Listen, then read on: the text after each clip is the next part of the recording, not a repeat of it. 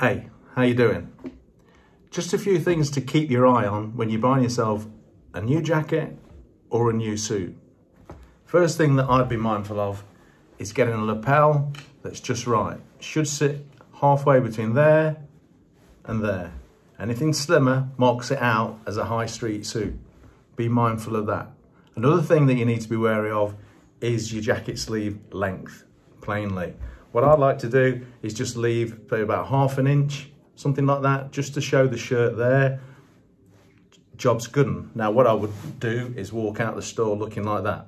That ain't gonna work for anybody, or even like that. Just be mindful. Now, with the shirt that you're gonna wear underneath that jacket, the collars need to fit just inside there. Not like that. That ain't gonna work. Finally, and most importantly, I wouldn't go for a bold pattern. Certainly not for those early suits, those first two or three suits. Give it some time, but a bold pattern marks you out. And the next time that you see that fella or that young lady, they'll say, oh, he's wearing that suit again. You don't want that.